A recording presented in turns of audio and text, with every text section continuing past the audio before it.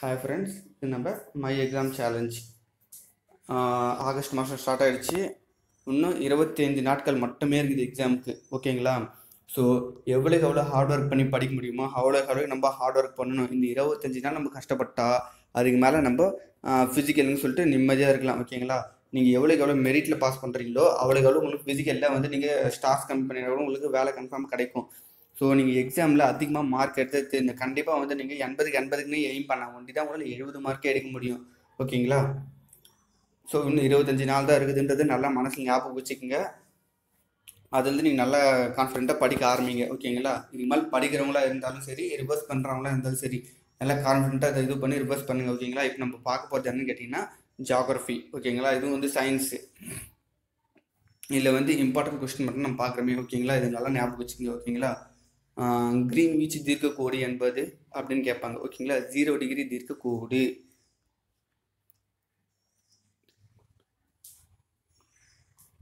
சூரிய குடும்பத்திலேயே உ- உருவில் மிகச்சிறிய கோள்னு கேட்டாங்கன்னா புதன். ஓகேவா அதே மாதிரி ப்ளூட்டோ வந்து கோல் அந்தஸ்தை எழுந்துச்சு அது எந்த வருடம் கேட்டோம்னா ரெண்டாயிரத்தி ஆறு. ஓகேங்களா ரெண்டாயிரத்தி ஆறுலேயே வந்து ப்ளூட்டோ வந்து கோல் அந்தஸ்தை எழுந்துருச்சு ஒளிமிக்க பிரகாசமான கோல் எதுன்னு கேட்டாங்கன்னா வெள்ளி. ஓகேவா வெள்ளி. மிக வெப்பமான கோள் எதுன்னு கேட்டாங்கன்னா சூரியன் ஓகேவா சூரியன். சூரியனுக்கு மிக அருகில் உள்ள கோள்னு கேட்டாலும் புதன் தான் சொல்லுவாங்க ஓகேங்களா நிலநடுக்கம் எந்த அளவுகோலால் அளவிக்கப்படுகிறதுன்னு கேட்டாங்கன்னா ரிக்டர் ஓகேவா ரிக்டர் அளவுகோல் அது வந்து சீனா கண்டுபிடிச்சாங்க ஓகேங்களா ஒளி வருடம் என்பது கேட்டாங்கன்னா வானியல் அழகு நல்லா வச்சுங்க ஒளி வருடம் என்பது வானியல் அழகு தென் அரைக்கோளத்தில் நீண்ட பகல் பொழுதுன்னு கேட்டாங்கனாலே டிசம்பர் இருபத்தி ரெண்டு. தென் அரைக்கோளத்தில் நீண்ட பகல் பொழுதுன்னு கேட்டால் டிசம்பர் இருபத்தி ரெண்டு. கடகரேகை அமைந்துள்ள அச்சம் கேட்டாங்கன்னா கடகரேகை அப்படின்னா வந்து இருபத்தி மூணரை வட அச்சரேகம்னாங்க அது வந்து மகர ரேகைன்னு கேட்டாலும் அது இருபத்தி மூன்றரை தென் அச்சரேகம்னாங்க ஓகேங்களா? பூமி சூரியனிடமிருந்து அதிக தொலைவில் உள்ள நாலு கேட்டன் ஜூலை நாலு. ஸோ பூமிக்கும் சூரியனுக்கும் மிக அதிக தொலைவில் நாலு கேட்டன் ஜூலை நாலு. நிலநடுக்கத்தை அளவிட பயன்படும் கருவின்னு கேட்டாங்கன்னா சீஸ்மோகிராஃப் இதுவும் வந்து சீனத்தை கண்டுபிடிச்சாங்க ஓகேவா? சீஸ்மோகிராஃப்ன்றது வந்து ஒரு லத்தின் மொழி. ஓகேங்களா? நிலநடுக்கத்தை அளவிடம் பயன்படும் கருவின்னு கேட்டாலே சீஸ்மோகிராஃப். பூமிக்கும் சூரியனுக்கும் சூரியனுக்கும் இடையே குறைவான தூரத்தில் உள்ள நாள் கேட்டால ஜனவரி மூணு. சம இரவு பகல் கொண்ட நாள் கேட்டாலே டிசம்பர் சாரி மார்ச் இருபத்தொன்று செப்டம்பர் இருபத்தி மூணு. நாளாச்சுங்க இருபத்தொன்று இருபத்தி மூணு அந்த லிங்க் வச்சு படிச்சிங்க. அப்போ தான் வந்து உங்களுக்கு ரொம்ப ரொம்ப யூஸ்ஃபுல்லாகவும் இருக்கும் மறக்காதே இருக்கும். So March September so March இருபத்தொன்று செப்டம்பர் இருபத்தி மூணு. சூரியன் உதயமாகும் நாடு என அழைக்கப்படுவது கேட்டால் ஜப்பான். ஸோ ஜப்பானில் தான் வந்து சூரியன் உதிக்குது அப்படின்னுவாங்க ஓகேவா அதே மாதிரி சூரியன் மறையாத நாடு சாரி சூரியன் மறையாத நாடு ஜெர்மனி அந்த வந்து ஹிட்லர் சொல்லுவார். ஓசோன் படல பாதிப்புக்கு முக்கியமான காரணம் கேட்டால் சிஎஃப்சி குளோரோஃப்ளோரோ கார்பன் ஓகேங்களா ஓசோன் மண்டலம் வந்து பாதிப்பாயிடுச்சுன்னா நம்மளுக்கு வந்து அங்கேருந்து வர ஓசோன்ல வந்து தருகிற புற ஊதா கதிர் வந்து தடுக்காது. டேரக்டாக வந்து நம்மளுக்கு கண் நோய் வரும் இந்த தோல்லலாம் வந்து நோய் ஏற்படும் தோல் நோயெல்லாம் வந்து ஏற்படும். சுனாமி அலைகள் ஏற்பட முக்கிய காரணம்னு கேட்டாலே போதும். கடல் மட்டத்தில் தோன்றும் புவி அதிர்ச்சி ஓகேவா? சுனாமி கலைகள் சுனாமி அலைகள் ஏற்பட முக்கிய காரணம் கேட்டாலே கடல் மட்டத்தில் தோன்றும் புவி அதிர்ச்சி.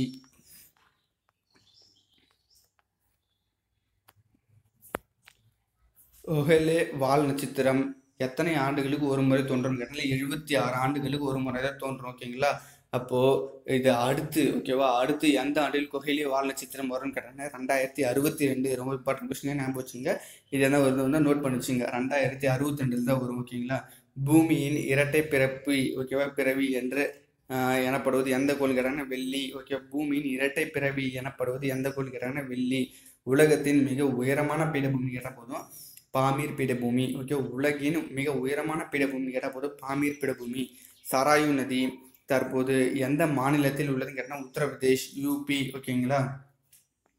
உலகின் மிக பழமையான மடிப்பு மலைத்தொடருங்கன்னா ஆரவள்ளி மலை. ஞாபகம் வச்சுங்க ஆரவள்ளி மலை தான் வந்து உலகத்தில் மிக பழமையான மடிப்பு மலைத்தொடர் ஓகேங்களா? வெறும் மடிப்பு மலைன்னு கேட்டாலே போதும். அது வந்து இமயமலை இளம் மடிப்பு மலையெல்லாம் வந்தால் இமயமலை வந்துடும் கன்ஃபியூஸ் ஆகிட போகிறீங்க ஞாபகம் வச்சுங்க ஓகேவா மினிகாய் தீவுகள் எந்த நாட்டிற்கு சொந்தமானதுன்னு கேட்டாங்கன்னா இந்தியா ஓகேவா? இதெல்லாம் வந்து அந்தமான் நிக்கோபார் இருக்குது. ஸோ அதனால் வந்து இந்தியாவுக்கு சொந்தமானது ஓகேங்களா? அலைசக்தி மூலம் இந்தியாவின் மின்சக்தி உற்பத்தி செய்யும் இடம் கேட்டோம்னா விழிஞம் அது விழிஞம் அலைசக்தி மூலம் இந்தியாவில் மின்சக்தி உற்பத்தி செய்யும் இடம் கேட்டால் விழிஞம் இமயமலையை டேஷ் என அழை அழைக்கப்படுகிறீங்கன்னா பனி உறைவிடம் இளம் மடிப்பு மலைன்னு சொல்லிட்டு இமயமலை நிறைய பேர் இருக்குது. அது ஒரு லிஸ்ட் இருக்குது. அதை நல்லா பார்த்துங்க ஓகேங்களா? இந்தியாவின் மிகப்பெரிய பல்நோக்கு நதிநீர் திட்டம்னு கேட்குறாங்க பக்ரானங்கல் திட்டம். இந்தியாவின் குறுக்காக ஓடும் சிறப்பு அச்சன்னு கேட்டாங்களே கடகரேகை. ஆறு இருபத்தி மூணரை டிகிரி வட அச்சரேகைனாங்க ஓகே இருபத்தி மூணு டிகிரி வட அச்சரேகைனாங்க சட்லஜ் நதியின் குறுக்கே கட்டப்பட்டுள்ள அணை கேட்டால் பக்ரானங்கல். ஓகேவா? சட்லஜ் நதியின் குறுக்கே கட்டப்பட்டுள்ள அணை கேட்டால் பக்ரானங்கல். ஓகேங்களா? இந்த வீடியோ வந்து பத்து பதினஞ்சு நிமிஷம் போகும் ஃப்ரெண்ட்ஸ் நீங்கள் வந்து என்னடா இது இவ்வளோ நேரம் போதும் ஸ்கிப் பண்ணிடலாம். சொல்லிட்டு மாதிரிலாம் பண்ணாதீங்க. ஓகேங்களா? உங்களுக்கு போலீஸ் ஆகணும். கன்ஃபார்மாக வெறியோட படிக்கணும். யாராக இருந்தாலும் சரி இது ஒரு ரிவர்ஸ் பண்ணுறதுக்கு யூஸ்ஃபுல்லாக இருக்கும்னு சொல்லிட்டு உங்களுக்கு தெரிஞ்சு நீங்கள் படிப்பீங்க இதை. தீபகற்ப இந்தியாவின் மிக நீளமான ஆறுன்னு கேட்டால் கோதாவரி. கங்கை நதி கழிமுகத்தில் காணப்படும் தாவரங்கள் கேட்டால் சுந்தரவன காடுகள்.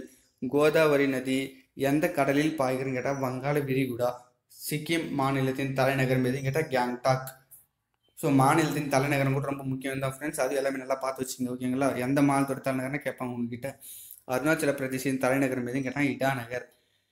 மிகவும் பழமையான மடிப்பு மலைத்தொடர் எதுன்னு கேட்டால் ஆரவல்லி மலைத்தொடர் ஸோ ரிப்பீட்டட் கொஸ்டின் அது நல்லா பார்த்துங்க ஓகேவா தீபகற்ப இந்தியாவின் மிக நீளமான ஆறுன்னு கேட்டால் கோதாவரி ஓகேவா தமிழ்நாட்டின் மிக நீளமான ஆறுன்னு கேட்டால் காவேரி. அந்தமான் தீவுகள் சுமார் எத்தனை தீவுகளை கொண்டதுன்னு கேட்டால் முந்நூறு தீவுகள் ஓகேங்களா அதில் வந்து மனிதன் வாழ் தீவுகள் கேட்டால் இருபத்தெட்டு தான் வரும் ஓகேங்களா இந்தியாவின் மிக அதிக உள்நாட்டு நீர்வழி போக்குவரத்து நடைபெறும் நதி எதுன்னு கேட்டோம்னா ஹூக்லி நதிகரைன்னு ஓகேங்களா இந்தியாவின் குறுக்காக ஓடும் சிறப்பு அச்சரேகை எதுன்னு கேட்டோம்னா கடகரேகை. கிழக்கு கடற்கரை எங்கே அமைந்துள்ளதுன்னு கேட்டாங்கன்னா கிழக்கு தொடர்ச்சி மலைக்கும் வங்காள விடைகுடாவும் இடையில். இது ரொம்ப முக்கியமானது பார்த்துங்க ஓகேவா இந்தியா எந்த தீர் சரி எந்த தீர்க்க ரேகையில் அமைந்துள்ள கேட்டால் கிழக்கு தீர்க்கையில் ஓகேவா நாசிக் எந்த நதிக்கரையில் உள்ளதுன்னு கேட்குறாங்க. கோதாவரி. நாசிக் எந்த நதிக்கரையில் உள்ளதுன்னு கேட்டால் கோதாவரி. அதே மாதிரி உள்ள நாசிக் கேட்டால் பணம் அச்சடிக்கும் இடம் ஓகேங்களா இந்திய கடகரேகை என்பது இந்தியாவை தெற்கு வடக்காக பிரிப்பது. அதை இந்தியாவை தெற்கு வடக்காக பிரிப்பது கேட்டால் இந்தியாவின் கடகரேகை தான். புகழ்பெற்ற சூரிய கடவுளின் கோவில் அமைந்துள்ள இடம் கேட்டால் கோனார்க். ஸோ சூரிய கடவுள் கோனார்க். ஓகேவா கோனார்க் ஞாபகம் வச்சுக்க லட்சத்தீவு ஒரு சிறிய யூனியன் பிரதேசம். இந்தியாவின் திட்ட நேரம் எதன் அடிப்படையை கொண்டது கேட்டால் இது ரொம்ப ரொம்ப இம்பார்ட்டன் கொஸ்டின் பார்த்துங்க.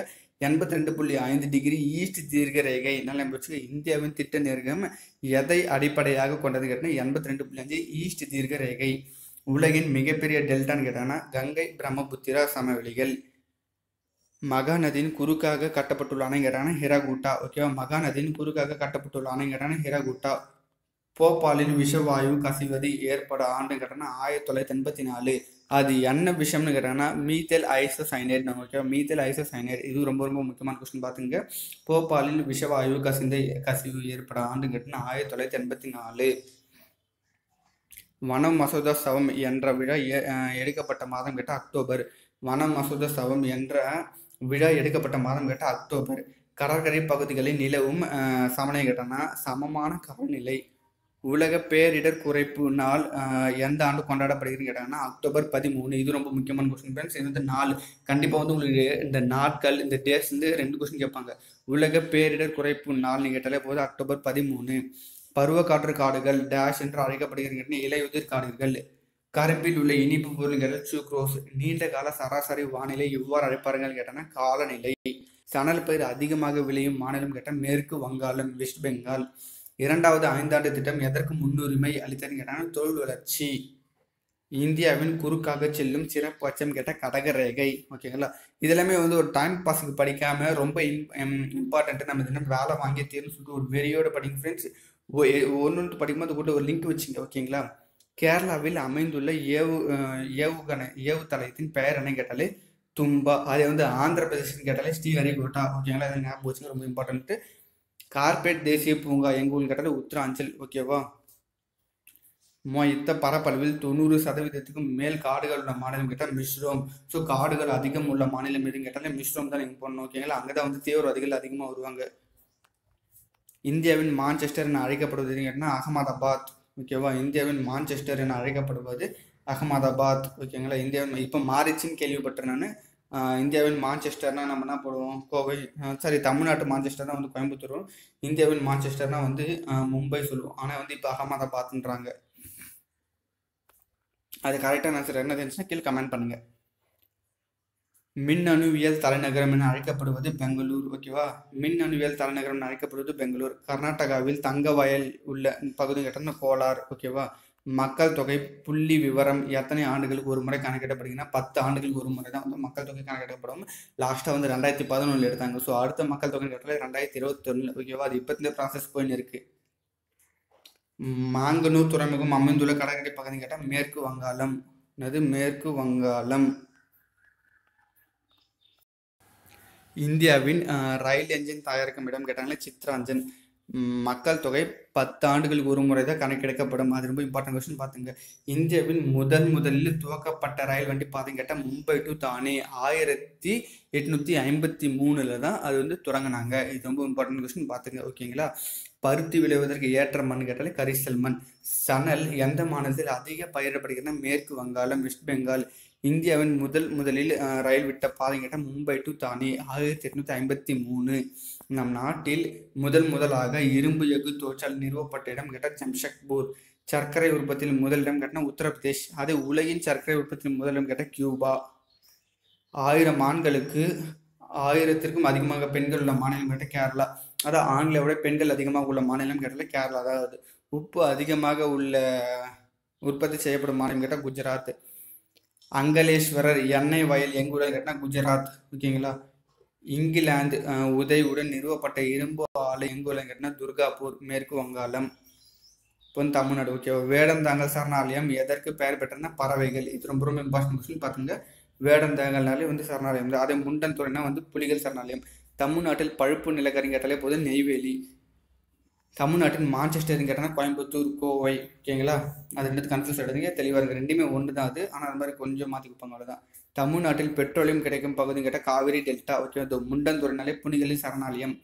காவேரி ஆறு உற்பத்தி ஆகும். மாநிலம் கேட்டால் கர்நாடகா. மிகுதியாக பாக்சைடுகள் உற்பத்தி செய்யப்படும் மாநிலம் கேட்டால் தமிழ்நாடு. தமிழ்நாட்டின் கிழக்கு கடற்கரைக்கு பெயர் என்னன்னு கேட்டால் சோழமண்டல கடற்கரை ஓகேவா? சோழமண்டல கடற்கரை.